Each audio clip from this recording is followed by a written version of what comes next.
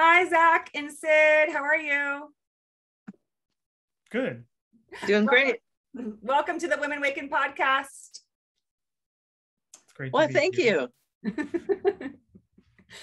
Syd, I'm in your studio right now. it's your beautiful home, your beautiful cooperative home. The big reveal. Yeah, I've exposed you. It's wonderful. Well, thanks. We have an extended time to visit. It's nice that we can fit this in as well. Yeah. Yeah. So, Syd and Zach, you guys work together in the Seattle Cooperative Housing Network. And Syd, you and I met back in, oh my gosh, 2010, over a decade ago, when I was living here in Seattle and you were working at U- UW, University of mm-hmm. Washington. Yes but you had even when you were working there you had already sort of started working within the intentional co-op community right? Yeah there's been a role of you know facilitating and networking and putting on events for intentional communities since maybe 89 wow. 88 89 yeah. Look at you. Okay so then being on boards. to sum up for the audience, for those who might not be very keen to what that this means, can you explain what are intentional communities, what are co-ops, and why did you get involved in them? What's the importance of them? Because they are super important, and I see them as being a big part of our future.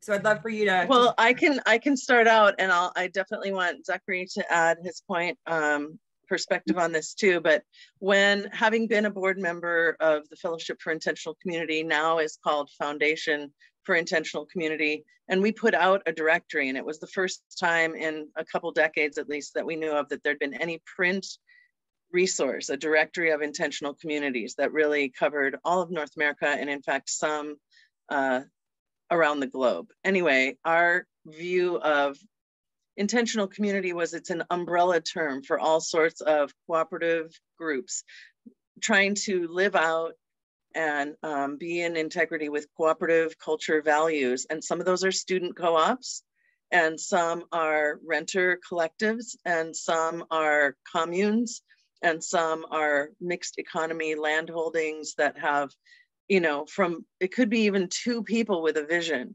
but um, any size, it really was more self-defined. If you see yourself as this, then you're in it. And it's always a blurry blend. You know, there's always existing some alternative um, intentional communities on the edges of the mainstream culture. But basically, I like to think of it as whoever is really trying to enhance their skills in cooperation and sharing, that is kind of a fit. And then there's all sorts of legal structures that can fit under that. Do you want to add to that, Zach? I mean, I think you covered a lot of the main points. I also say it's an umbrella term and like it runs the gamut from, you know, a house of mm, four or five friends who has just decided to be in community together and have maybe have weekly dinners or, or regular meetings to discuss uh, the house culture to, like you said, full blown communes. You know, maybe you're self sufficient and you have, you know, a couple hundred acres. Uh, or eco villages. Yeah. Um, but yeah, I think the like you said, sort of the key the key point is that you are intentional about being in community together, sort of in the name, uh, and that you're making an effort to uh, support each other and be there there for each other in ways that go beyond sort of our atomic independent expectation in this day and age. Yeah, and I I, I want to be sure to point out that some are spiritual and religious in nature, their focus, and others are not, but it has some core shared values.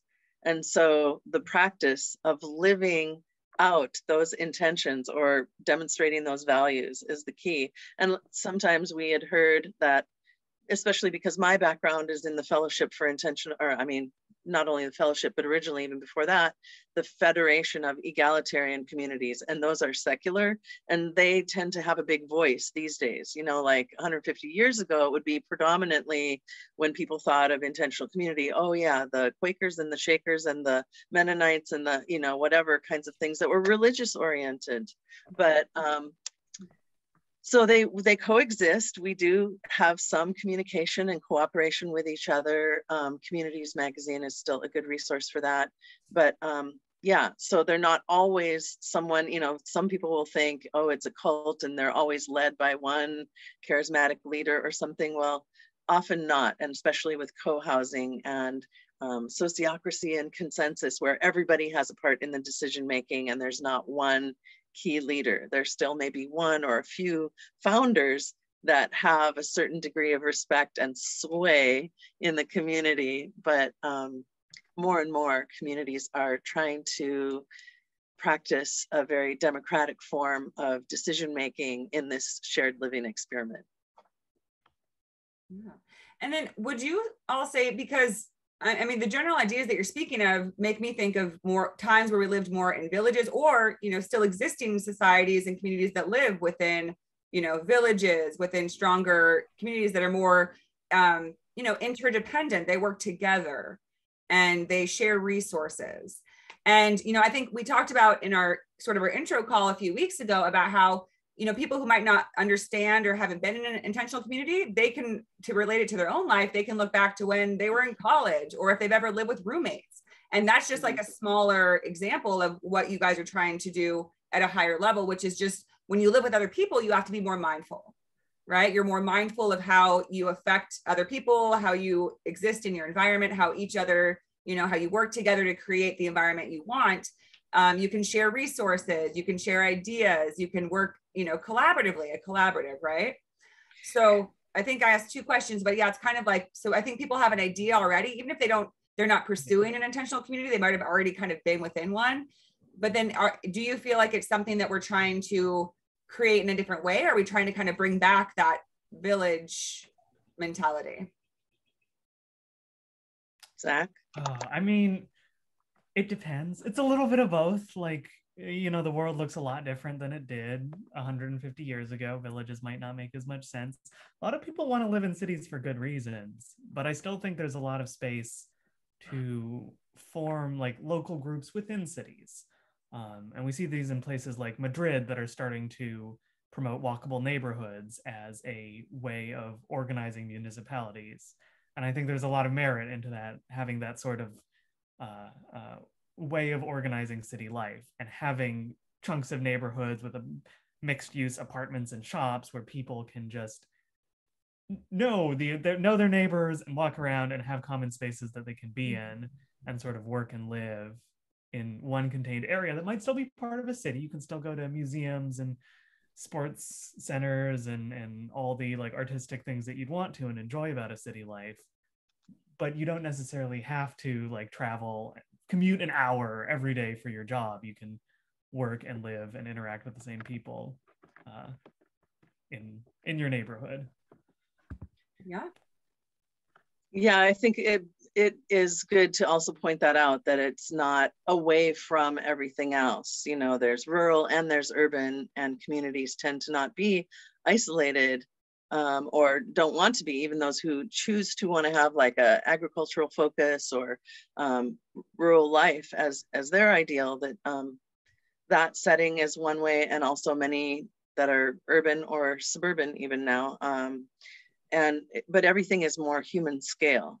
It's you know what's living within our means. What is what can we collectivize? What things we want to keep privatized? Um, and the that just allows for you know if someone wants to be doing something that um, you need to have the space to like raise sheep or goats and you know uh, or do a particular kind of art or just particularly grow crops. And some people want to do that and then there are other people that's like i have no interest or skills in that arena and we want to have a different focus but we really value the social and the um, the kind of you know when i first the cultural microcosm that we can create by living together intentionally. So a lot of us when we were in college and i'll say that was really my first experience is living in an off-campus house and seeing you know we've been raised in a very hierarchical culture. We've had everybody telling us what to do our parents our teachers and whatnot. And living in a house where we are figuring out like, well, what do we want it to just be set up like? in it's physical, you know, way the in the built environment we deal with that. And what whose furniture and what way? And are we all going to cook together? Where do we you know we collectivize or we can have impact to you know make our purchases and buy food from say this place like the co-op or whatever it is. And you realize you have power to form and make tangible your immediate environment. And then that is kind of automatically, if you're thinking permaculture or social permaculture, it's starting from like zero, wherever you are, and what are the important fields radiating out that you want to have the most contact with, most influence over, and whatever we influence it's also influencing us back. So you just realize these choices. And then to me, that kind of jumps to the psychological growth or social emotional growth or spiritual growth, whatever you want to call. Um, and that was really what attracted me. So it wasn't just like what this place was or what the buildings look like, but coming together with people and connecting with them and the power of creating environments which then create the culture, our life ways, what we do every day ends up being like the life we create.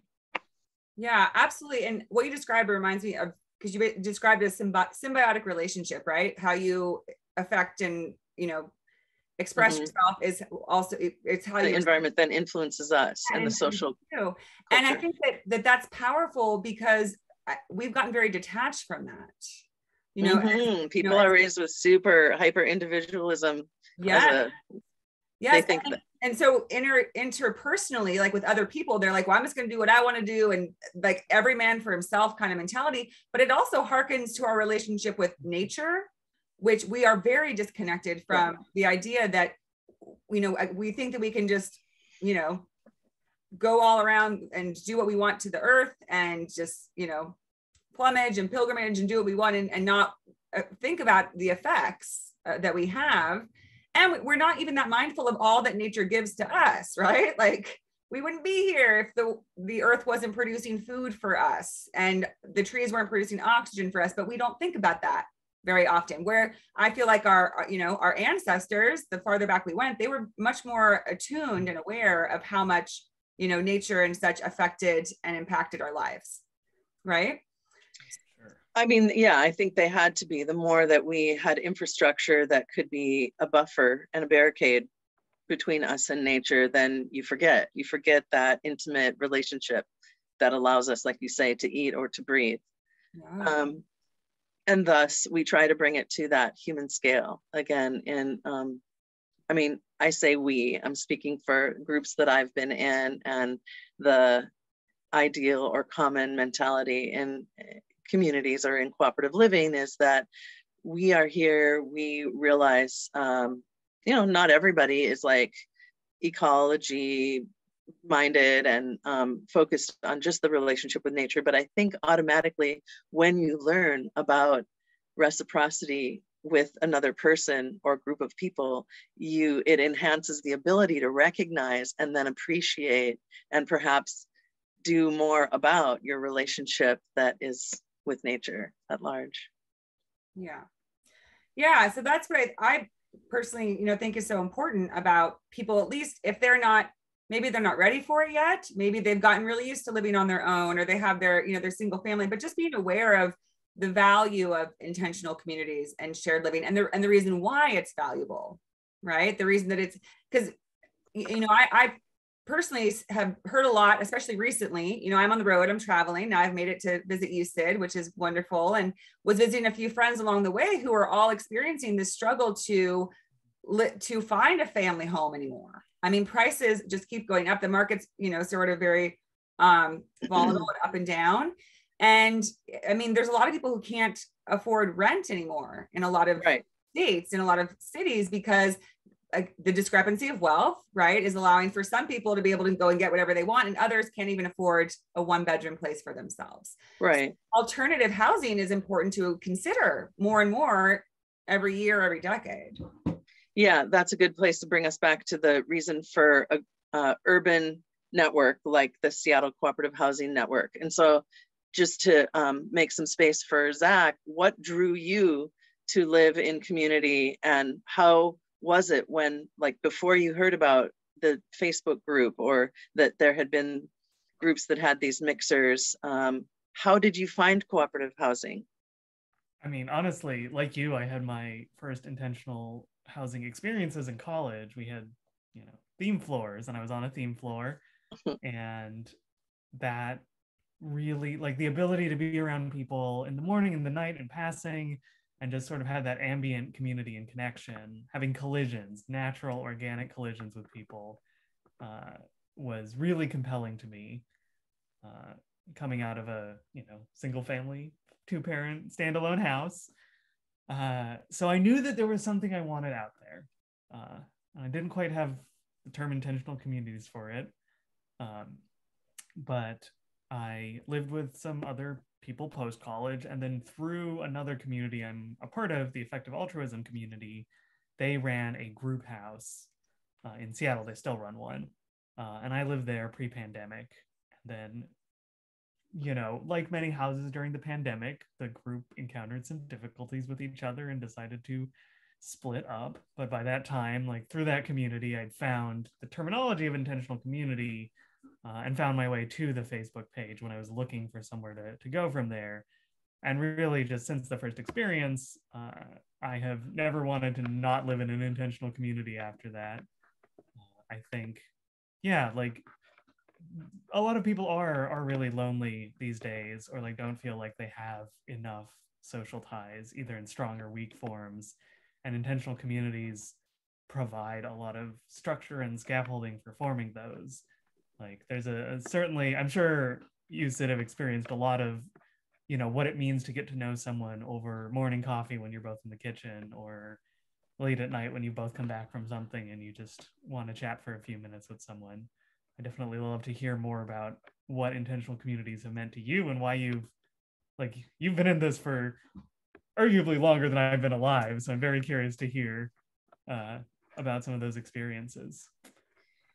Yeah, I could talk about some um, examples as we go along, but I wanted to just make sure we're like touching on the benefits of, um, and particularly right now a little bit with um, this issue of rental or buying. What does it mean to have a home? And I know, Zach, don't let us forget about bringing up the concept of family and related and non-related people maybe living together. Um, the cost is the thing that Whitney brought up, and that is a number one draw for many people that are looking to maybe purchase a house with a friend or brother or sister or somebody else because it's just so hard to do on your own. And then even with the rental market, market rate stuff is so high that I've been able to save and have more freedom to do other things and not feel either compelled to work more hours or a corporate job that I might not really find that appealing and have, um, with lowered housing rates, um, more options about ways to spend my money.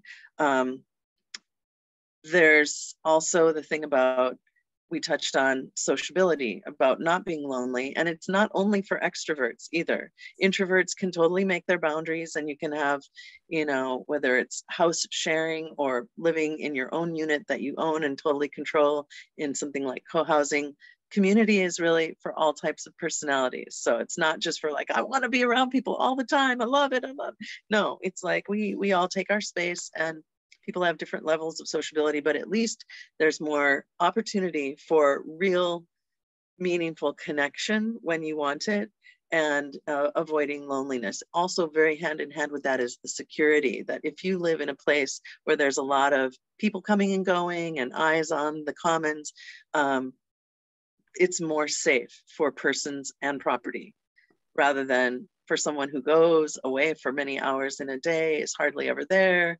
Um, in an urban setting and the kind of disparity and um, desperateness of other people who don't have a home people are watching those saying like that kind of looks like an abandoned house. Like maybe we want to break in maybe we want to try to squat i don't know what but i'm just saying that a lot of people all around um, seem to have more problems with crime, but where I've lived in group houses, we seem to not have that problem. And co-housers say that that's a big factor for them too, rather than them feeling isolated and either living alone where they feel personally afraid or their property is much more of a target, um, we have increased safety and security in community.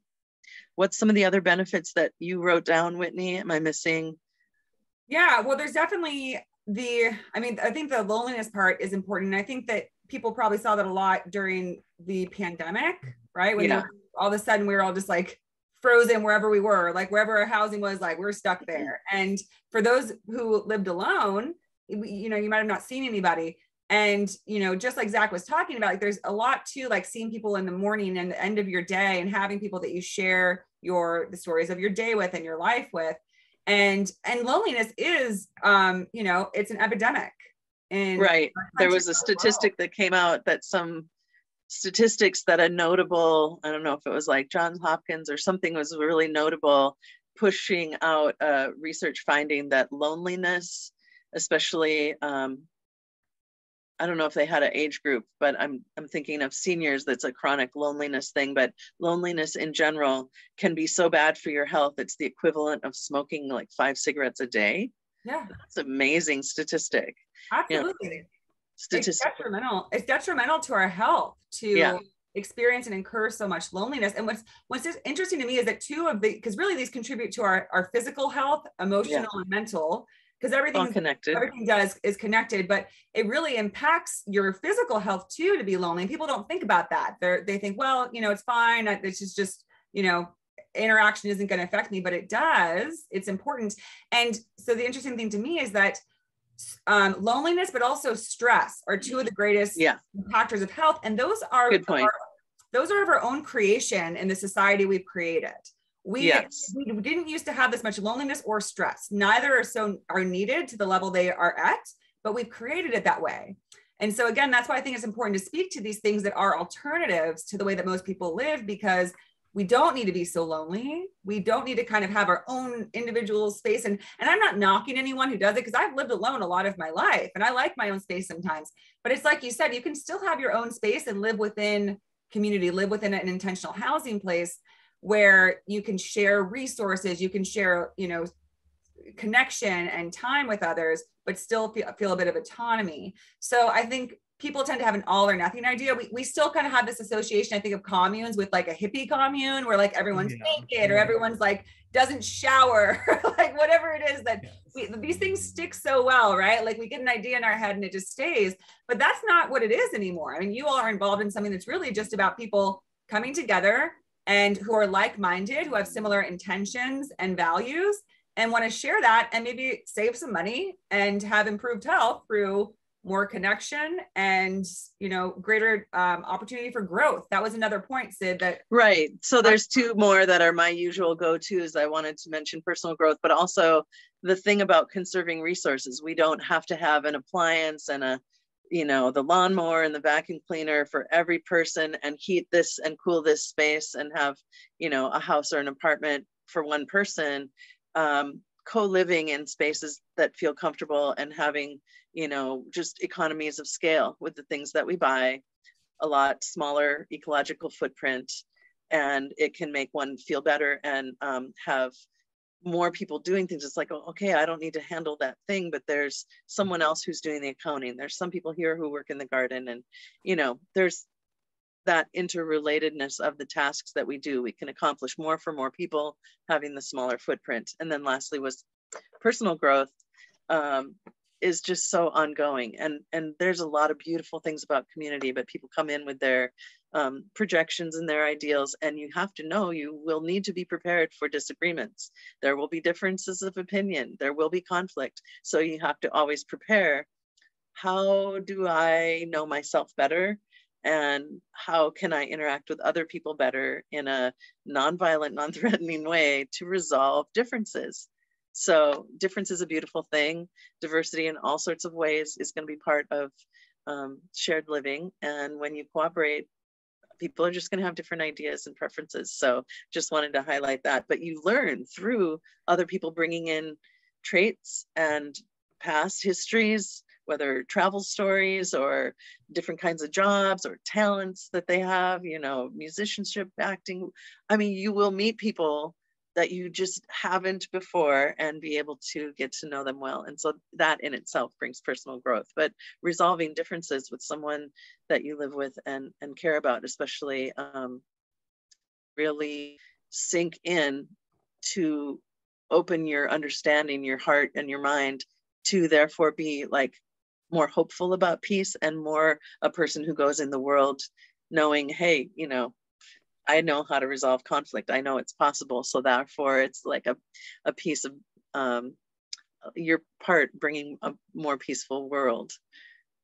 Absolutely. Fruition. Absolutely. And I think, I mean, I, I think the personal growth is just so extensive, the amount you can have yeah. with others, because like any relation, any relationship, whether it's with your family or a, a partner or a community, there's no greater ground for growth right? I mean there's definitely there's growth we do within ourselves that personal growth that we you know you got to go within and that's very powerful but when you're in relation to other people it shows you things that you just can't see when you're by yourself right? Yes. Oh yeah the mirror the reflection. Yeah like you don't see yourself the way others.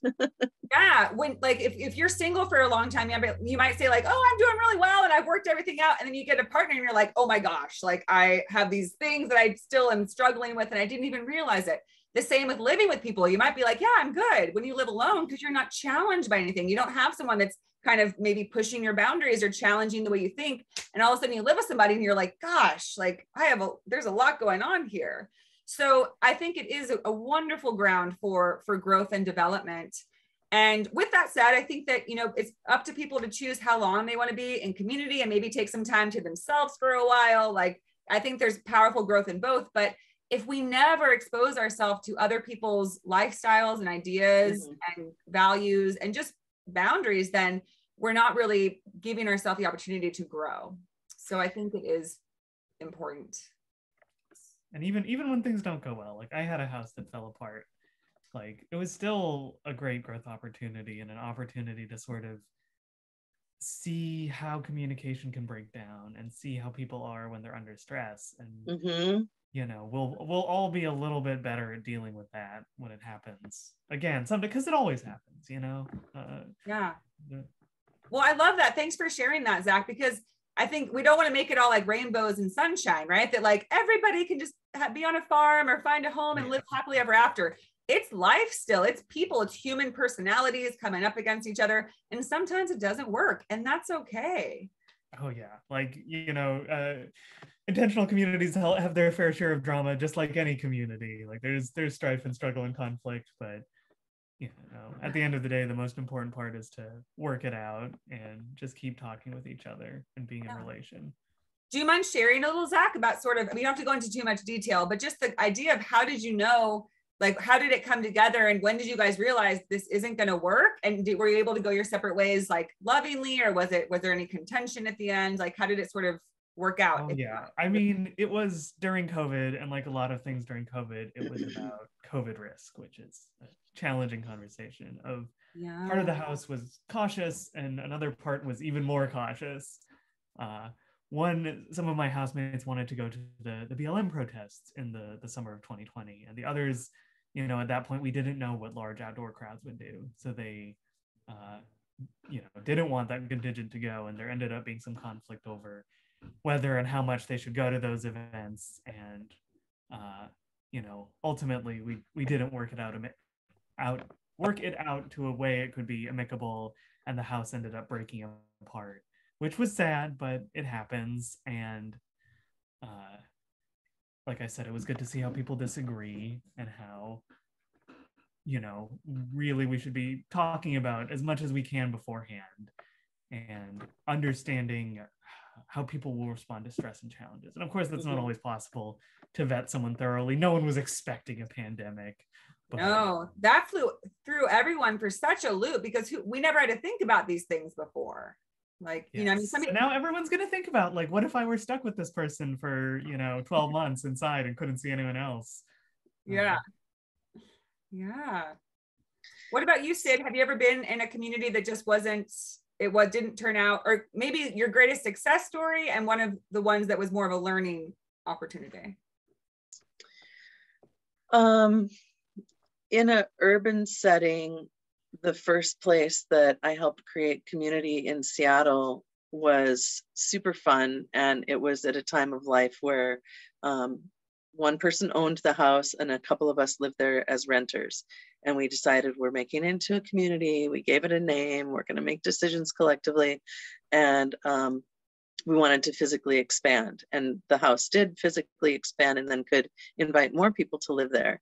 Um, because of then aging into a place where um, those of us that lived there um, well i'll just one person wanted to get married and then once they were married and we invited another family that already had one child to live there it became a different vibe slightly. And then ultimately one family moved out and it became just like um, the main uh, owner couple and her sister and her family. So you can see how like it adapted. It didn't fail exactly um, but it wasn't it didn't have the same dynamic and it wasn't a place that i ended up staying but it just morphed. So that's a lot of times for homes that it's good for that set of people and then one or two they leave at times and then regroup and incorporate a new person and personality and um, then sometimes it's just like one decides to move and then it's like a set of dominoes well. If you're leaving then i guess we're all going to go. I'm not going to do this experiment anymore but it's all been a learning experience and and we benefited while we were there yeah.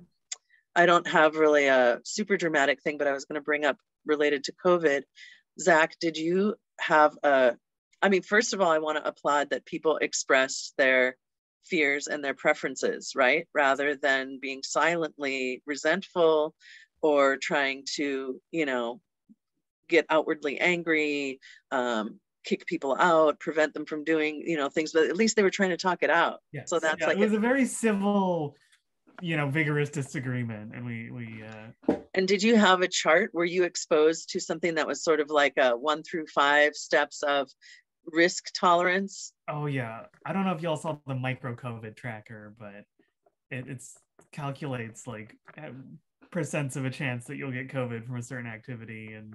Okay, no, that's different than what I was thinking of. But anyway, there are tools like that, and cooperatives shared things. And NICA, just to recognize another Northwest Intentional Communities Association and um, the Seattle Cooperative Housing network is a small group that's somewhat related, but just a small subset because the other is a regional um, representing long-term nonprofit.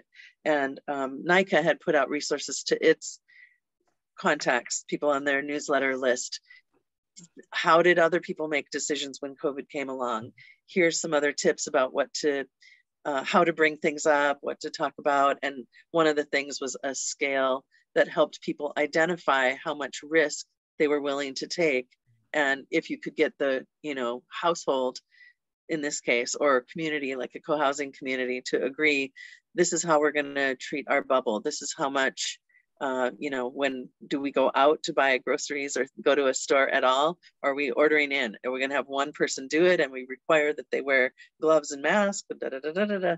you know like we could make a policy that helps meet or pretty much help to lower the fears of those who have the least risk tolerance. And that was the challenge for all of us. And so sharing those tools was helpful. When I saw that, I'm like, oh my gosh, this is a helpful conversation tool.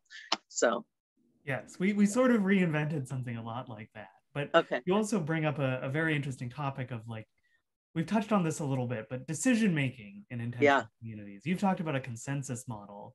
Uh, would you be willing to share more about some of the decision making models you've seen and what you prefer? Yeah, um, there's, gosh, there's so many different types depending on the size and the legal structure of the community. But I've been in where there's a planner manager system, like at Twin Oaks, and this was modeled after um, Walden 2 a bit, where there's different guilds and uh, work areas that have a manager and then those managers that have similar uh, other kind of work areas those managers are in a kind of council or a guild and then for any decisions that are impacting the group but fall between the cracks outside of those work groups or simply are not work related issues. There's um, overall policymakers that are called the planners, and that's similar to having like a board uh, position on a nonprofit, I guess. And then there were things like budgeting, where for 80 to 100 people, there would be a trade off game every year that all people had the opportunity as members to participate in and look at how we might change the budget. So this is very participatory, democratic thing. Also, the planners could also be like vetoed out by a member vote. Um, managers pretty much like you didn't get compensated more for doing it. So people were glad for rotating managerships. But for planners anyway, you couldn't do more than two planner terms together, then you have to rotate out so that there wasn't any sort of centralized um, concentration of power in a person or a family. Sometimes, you know, um, that was one thing. Another thing has been using consensus in smaller groups where everyone, everyone is going to sit and have a thing. Sometimes it's uh, modified consensus in a lot of the co-housing groups. And then the new thing these last few years that's really been catching on is sociocracy. And it helps not even consensus, um, it can be difficult for people to make time for meetings so much and for meetings to go on as long as they do and to get down to um, consensus also is not complete um, unanimity, but it's trying to get a decision we can all live with. And it comes a lot from the Quaker tradition. But um, sociocracy has been sort of a fun and liberating, although albeit complicated and good to learn first before you just jump in and try to do it. Um, form of good, uh, any kind of work group or uh, living together cooperative cooperative group. Um, so there's a, a, ton of things out there. If people just go look it up, there's different teachers, different books, and um, sometimes not where I've lived, but there's just like simply a voting thing, like about making policy. There could be something where some people just have a committee or um, maybe even, you know, one leader, whether that's politically elected or they've just started it and they keep that uh, role. And then sometimes those certain policies they'll have a vote and it's just like you know numbers game whereas consensus is getting away from having winners and losers. You know it's like we use when we use the typical voting and just looking for majority to win then that's always super contentious. There's like just this divided team that wins and team that loses. So anyway, a lot of community living folks try to get away from that and be more creative, more participatory, and um, look for the uh, best common denominator that we can live with. But others have the freedom to also, um, you know, either not participate in making that happen, or you know, we try to, we just, we have to try to accommodate. That's it's a creative challenge of governance living in community for sure. Yeah. Um, have you seen anything that worked or particularly didn't work in co-ops that you've been a part of or um, just observed, Zach? Is it kind of like one dominant? Uh, there's also just to point out if there is a difference in you're living with a mixture of owner or owners mm-hmm. and then renters, there's going to be some arena of things that the owners will make that the members don't have or shouldn't have a say in. You know just like same thing this we want to incorporate everybody but someone who just showed up and hasn't read the policy or hasn't um, been part of meetings before about like a particularly controversial issue probably they shouldn't speak up or think they have an absolutely equal voice in the decision making meeting that's going to be about that issue so that's you know being sensitive to that and and having good facilitators and mediators that can jump in. But anyway, like I'm jumping on the question I asked you. Anything you saw that worked well or didn't didn't work that was had to do with governance? Yeah, I think among a lot of the you know mid 20s, early 30s, younger folks I've seen in intentional housing, uh, consensus based decision making has been very popular recently. I haven't heard as much about sociocracy. I'm kind of curious about that, but uh, all of the communities I've lived in have been small enough to use consensus making, and it's worked pretty well for us. Uh, I think this is a place where values can come into play as well. Of consensus gets a lot easier when you have a shared set of values. Um, my house, for example, is mostly vegetarian and vegetarian aligned. So even some people eat a little bit of fish. You know, we're not very um, uh, judgmental about it. Like everyone thinks that reducing meat consumption is good for the planet, but that's a whole other conversation. Yeah. Uh, but even with that belief, with that common belief, uh, it makes cooking and grocery shopping and all of those right. things just sort of fall into place a little bit easier. Like there is sort of a natural consensus around less meat consumption and you know respect for the cooking areas and all of that uh, because we have these shared values. Has so there been conflict about what pans you use or? No, no, no pan conflicts, no, nothing like that. Okay. Uh, but you know, I, I think that uh, establishing that clear set of values, like you said, upfront and, and having a clear, you know, mission and, and sense of what the community is about uh, can really pave the way for whatever decision making systems you have later on if you do have yeah you have to make a choice about what you will use for your group decision making that is a most important choice that one should make early on. Otherwise there's a non-named but always in effect some sort of um, influence that is going on. And and decisions are going to be made. More are going to be like on the fly and up to the individuals.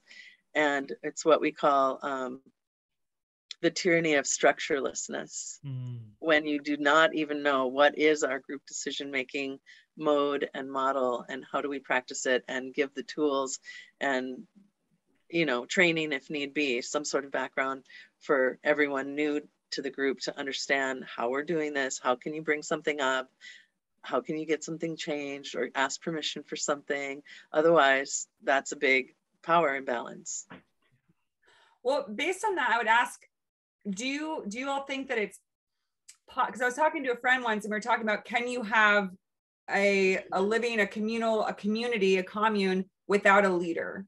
Can you just have like total equal because i think you know human history would show us that humans coming together will always form some type of hierarchy.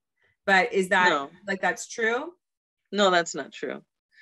And i think if you go back far enough that really human ecology shows us um, it's my belief that we had more egalitarian societies earlier on, and even though people had different skills and traits, people could still be equally valued for that. You know, you could have a society, or let's just bring it down to village size so we can like maybe comprehend it better.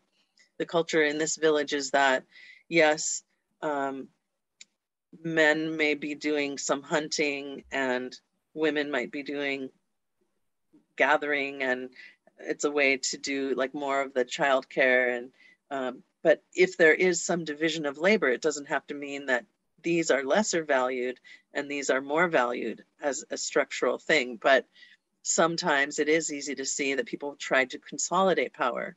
Um, anyway i don't want to go too deep into that but i the short answer is um, there can be shared power and not any one particular leader or a small handful of a couple people that remain leaders of a community throughout time exactly what I was saying for like the Federation of Egalitarian Communities. They make that, you know, an absolute foremost value is that we all own the resources equally. The land is owned equally. We all get the same kind of compensation or allowance. Nobody makes more than another person. Um, we all have, you know, a choice in what kind of work we do and nobody is our boss per se. Um, we don't have leaders that stay in a role. We are rotating out and out, there's checks and balances within that system. So many examples that exist throughout time but even right now people who were raised in a hierarchical culture can learn how to share power express needs and work with other people so that there's not uh, systemic domination and hierarchy. Thank you. And it's really good to know that there's examples of that, I think, and to untangle if there is sort of a dominance in any group. There's it's not that there's, you know, some people we value in this culture, in the mainstream US culture, we value people who are white, well educated. I'm not saying we as individuals here, but I'm saying that the way that things are getting rewarded in the mainstream culture is if you're educated, if you're articulate, if you're uh, extroverts are valued more than introverts. Um, if you can, uh, if you're an English speaker and you speak it well, and you know, la la la la, there's a lot of things that can give someone a high value in any group. And so, even a group of three or four or five, someone may appear dominant in again like just taking a snapshot and someone who is like okay i have an idea we're going to do it this way and they can propose something but in an ongoing way if that group is living together there may be many other ways which they value each other they balance out there's checks and balances about that one person who spoke up in the snapshot may not be dominant in all areas at all times and if they want to be more egalitarian they can give feedback to that person to say why don't you wait and not speak first? Let's ask for everyone else. Let's have a facilitator in this group and ask for input from people we haven't heard from yet, or those sort of things that help to let people, again, on an individual and psychological level, realize, oh, I guess I'm used to just speaking up and getting my way oh, I get feedback from the group that says maybe I should wait. And then if no one else says it, I can give this idea that I have and see if the group likes it, but not assume that it's the right way, the only way, and it's my way or the highway.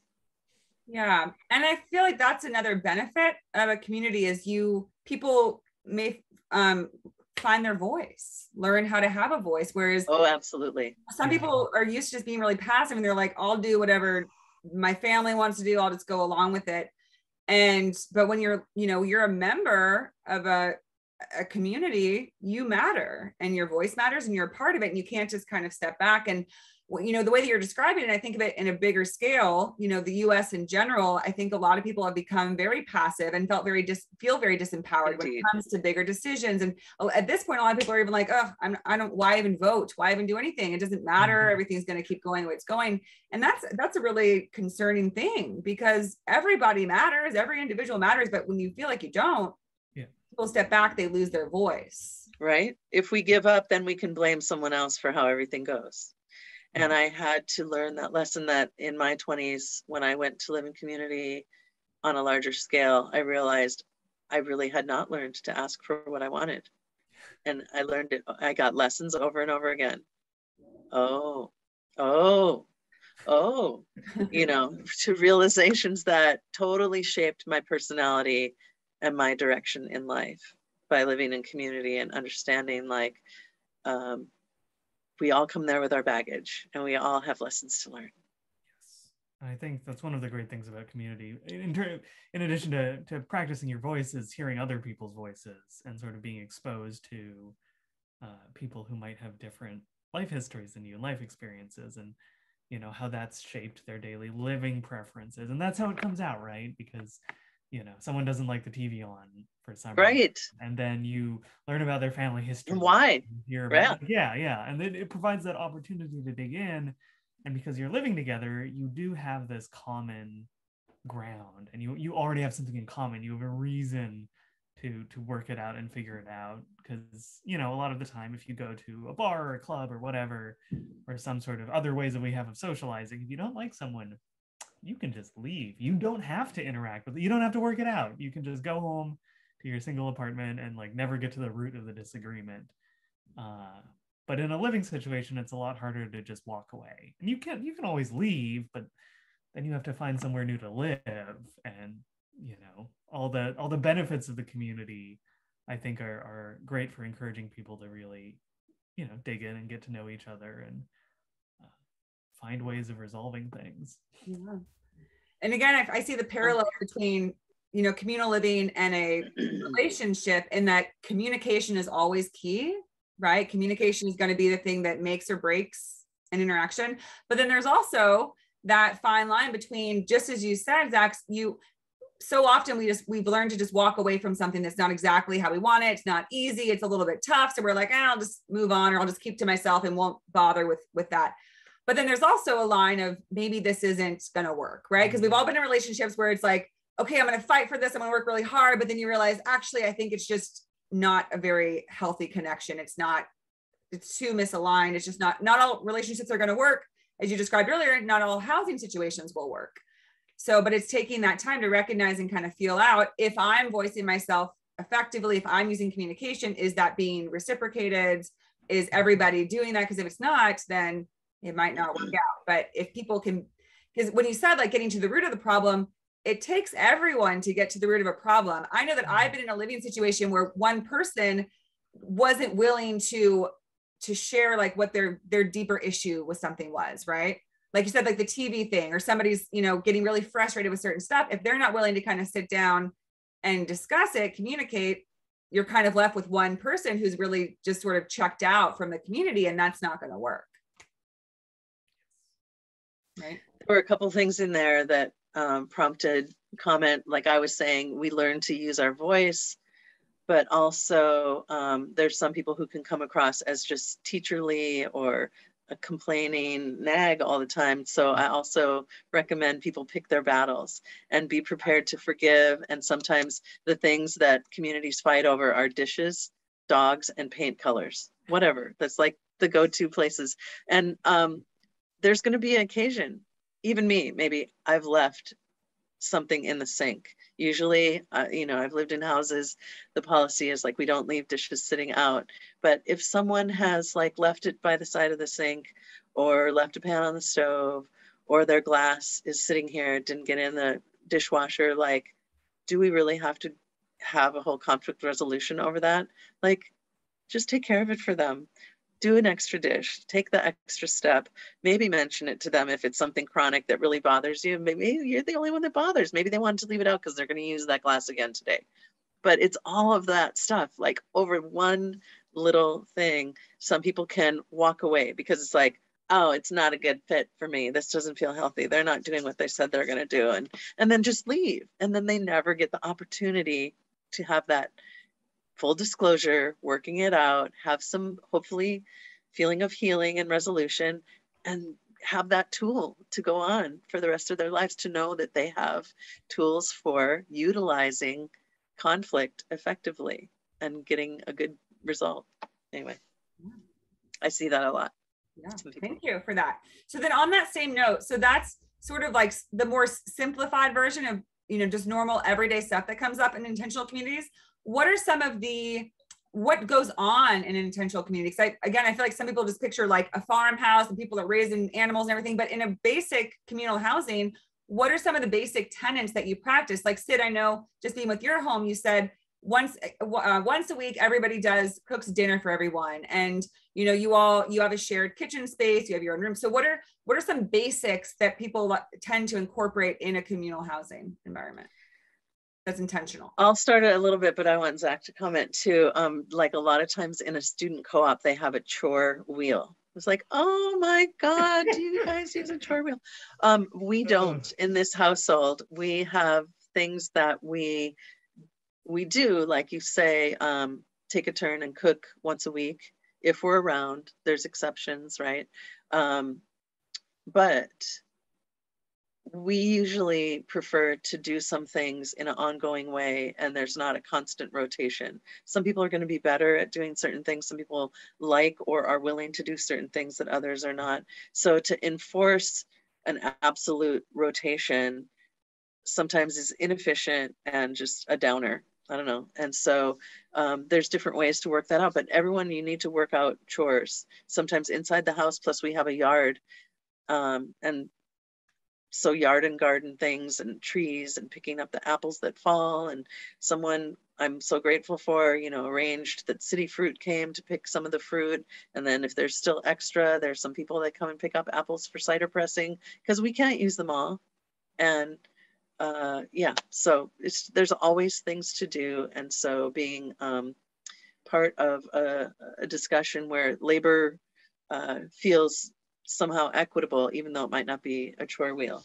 And then um, who shops And, you know, I have a car and I shop, and other people don't have a personal car. And so they'll put things on a list. And do I resent it that I'm doing the shopping for things that other people said they want? No, no. I mean, I'm going to do that. And then there's other people that are going to clean some things more than I do, either because I don't notice it or they just are very uh, focused on it.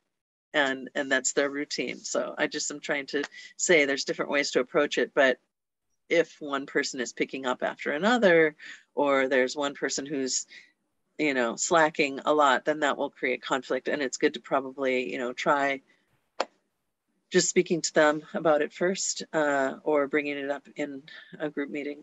And and then they can think about creatively how they could do that instead so Zach, what's an example for yours? What's some of the routine things? Oh yeah, I mean, I feel like in general for community housing, you talked about chores, and that's definitely a big part of it. But uh, the biweekly, weekly, or monthly house meeting, like if you go to almost any intentional community, yeah, like, they'll have a house meeting. They'll have the house meeting where you like talk about issues or chores or whatnot. Yeah, you have to have um, a little um, set aside time for business meeting. It's not just in passing and over the coffee. But yeah, so yeah, yeah. how often do you guys have it?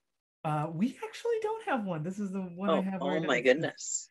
Very strange, but uh, one of the things I also wanted to talk about, which is more on the fun side, because we haven't talked. We've talked okay. about the chores and the housework, and that's important, but it's not like the yeah. You know, I'm not in intentional communities. What's the chores. glue? What's the bonding um, part? Yeah. We we used to do like a weekly house dinner where we would rotate cooking. Everyone would get together. We would spend time together. Uh, that was really great. Um, and in terms of things uh, that we do together besides that there's like we've done movie nights there's uh-huh.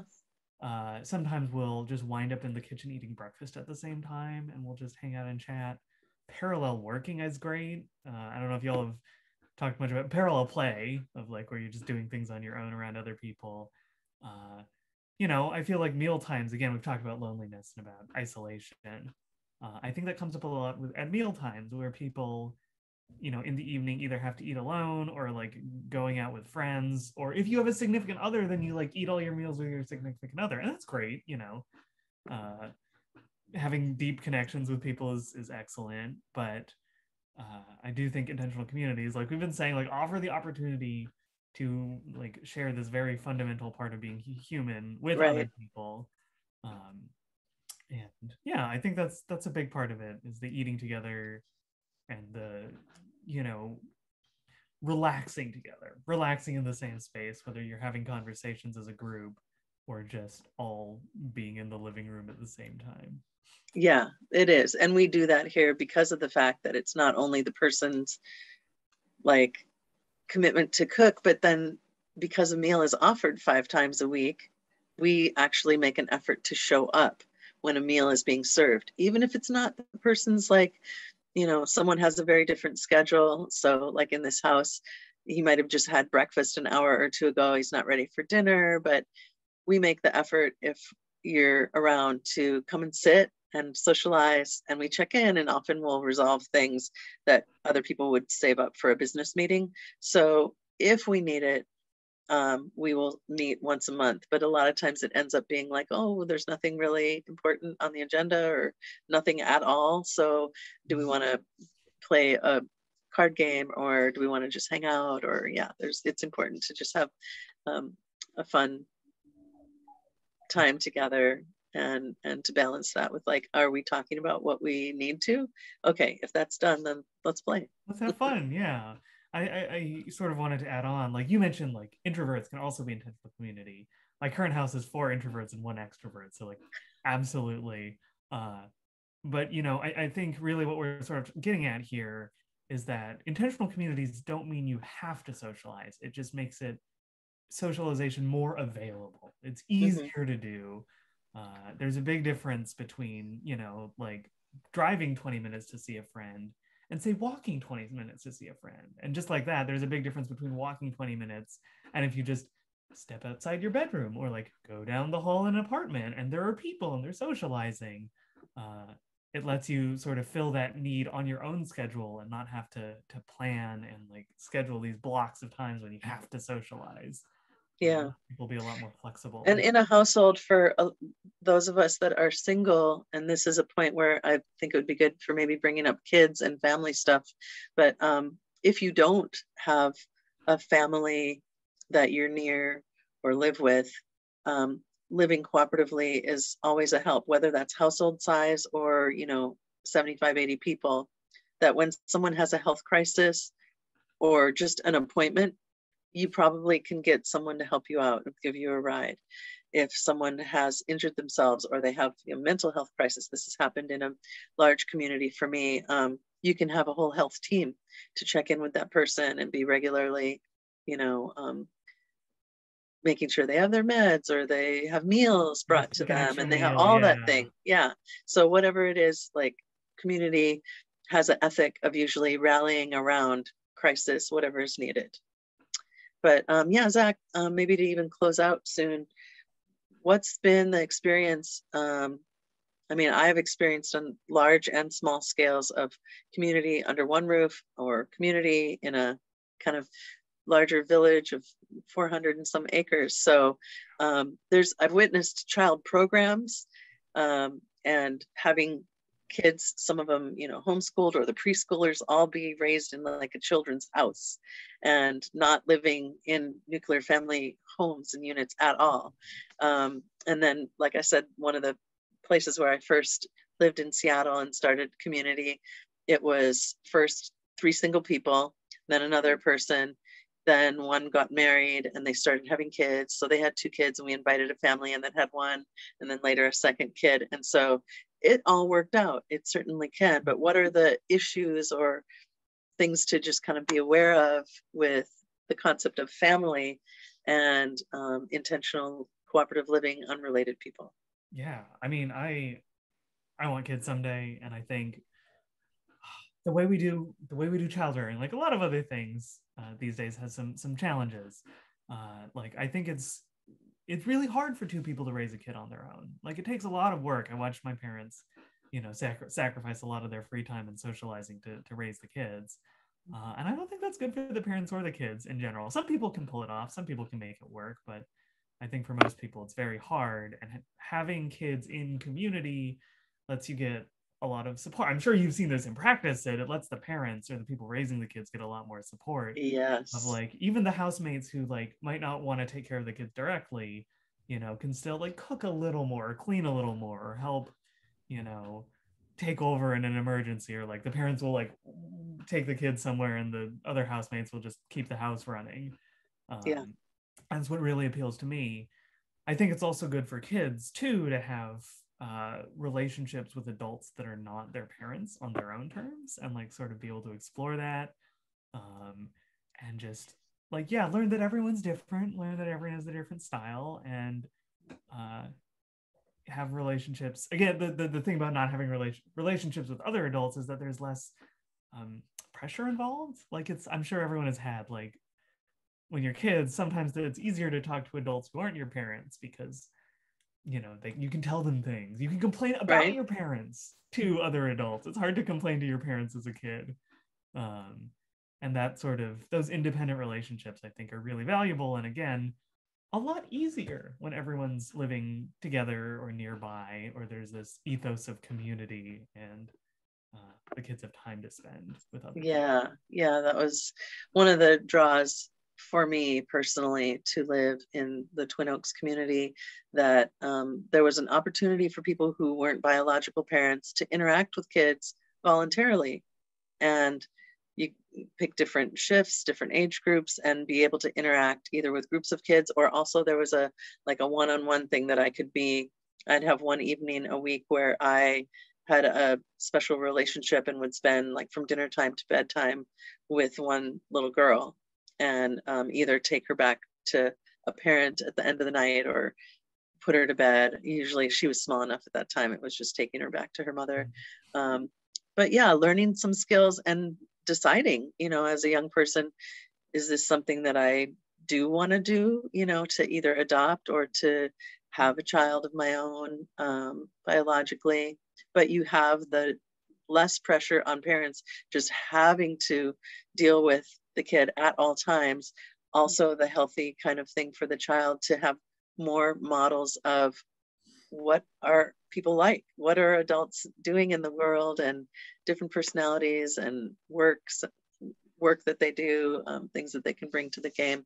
And and so yeah it's just the volunteerism of people who want to spend time with kids when they want to and give um, a break to the parents to be choosing some more of their activities in a diverse way than just being daddy or mommy all the time I do love the the way of putting it. It's not all or nothing. You can have a little bit of kids or more kids. Yeah, I think that's such a wonderful point, Zach, and thank you for bringing it up because that that's kind of like loneliness and stress. This is another thing that we've really put upon ourselves is that when we become our a parent, we are signing ourselves over to a 24 7 job. And I have a lot of friends at this point in my life who have had families, and some of them it, they take to it well and they enjoy it. Others feel really overwhelmed. And they you know it's not it's it's a lot for them and it's not really what they wanted and, and it's they feel like it's um you know they're not able to kind of pursue the things they wanted to do because it, it feels like it is it totally falls on their shoulders. And the most that are you know most people in our society do is maybe like your your parents right? It's like the grandparents will help out but we don't have a lot of community based or you know the organizations where people are families come together. And like you said said like how wonderful that people in a community could meet with the with other people's children once in a while and it's more of a collaborative effort rather than just this mentality that this is our child so we are the sole bearers of this child to raise them. Yeah. And that's and that also is you know i mean I, am a therapist so i see we're all impacted by our childhoods. And i think mm-hmm. that's that's that's inevitable. However i think the degree to which most of us are impacted and affected in not the most positive ways by our childhood is because of this mentality that we're stuck with our parents and our parents are supposed to know everything and be able to do everything. Well, no parent is able to do that, right? Right. So then they're, they're a role model, but they're not the end all be all. Yeah. And so then inevitably our, you know, the child is affected by that, impacted by it, disappointed in some ways. And it's created this cycle that's just really not beneficial to anyone. So I think the more that we can move toward this idea that yes we you know we give birth to a child we're going to be feel connected to it but it doesn't mean that we're the sole people to only raise and impact that child yeah and I think that communal living is a great way to start. The way that you described it, Syd, Doc, the way that you described it is we got to start somewhere because right now we, I think people feel very stuck. The way things are, this is how it is, just how it's always going to be. Not true. Everything's yeah. changing all the time. Well, and uh, one thing that's not going to be the way it has been is the climate and ecology of yeah. what we're able to grow and that there is a limit to growth there's a limit to resources and so if there were ever a time to consider building skills in cooperation and sharing it's now when we're really reaching a height of climate crisis that's could be you know catastrophic. And so when real crises come and um, some decision making with confidence and experience of how to resolve conflicts or share resources, it's going to be a very valuable tool to have a little bit of a notion of where to go and proceed. Yeah, I think you both might have more more people coming to wanting to connect with you and learn more information because I think that humans tend to not do anything until they have to, especially stuff like this where it's about sort of more an, an expansive, a more conscious way of living.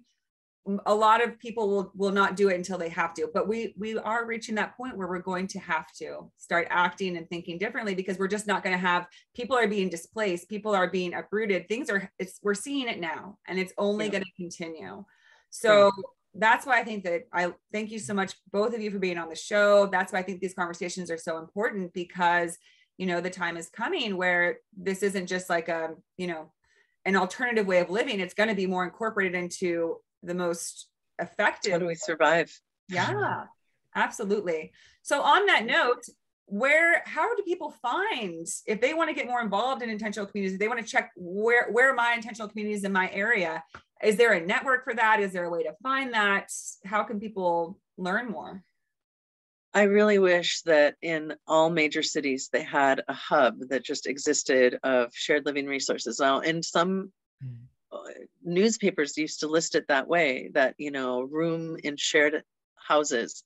Um, since I don't know, I haven't looked online at if they have classifieds that way. Um, we've turned to Facebook in Seattle, where we have the Seattle Cooperative Housing Network. I know that there are some resources people can just do, like a web search for their area and see cooperative living, shared living, shared housing, those kind of words and see what they can come up with. Sometimes it'll show up on Craigslist, sometimes it'll be some other hub that exists. There are other things like Silvernest for people over 50 looking to share their homes or find cooperative housing. There's um, Sharing Housing is the name of a actual nonprofit based out in the East Coast that I talked about FIC, Foundation for Intentional Community. The website for that is ic.org for intentional community. And um, in our area, this region, the Pacific Northwest has NICA, Northwest Intentional Communities Association, and the website is nwcommunities.org. Um, Zachary, yeah, think like of others.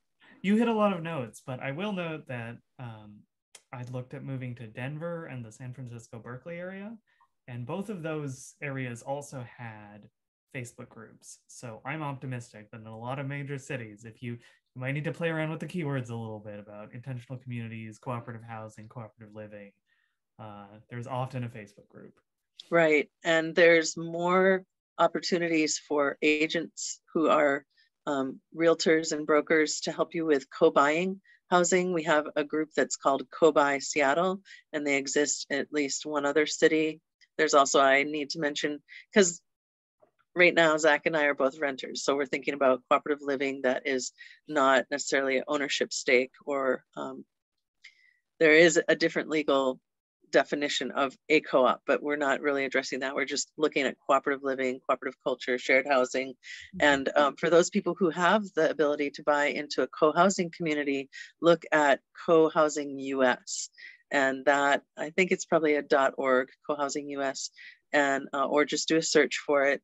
That they have so many all over every state in the US and in other countries abroad. So if you're looking to rent or to buy, to visit, to experiment, there's also one more, the FEC that I mentioned, Federation of Egalitarian Communities. Their website is the FEC, so the FEC.org. Perfect. Wonderful. Well, thank you for those resources. Thank you both so much for joining me today and sharing about your wealth of knowledge around co-housing, intentional communities, the wave of the future, the what we're moving into. And thanks for being a, a resource for people to learn more about this. Thanks for having us. Thank you. Oh, you're so welcome. All right, thank you. Syd, I'll see you in a few minutes downstairs. Okay. Cheers. All right.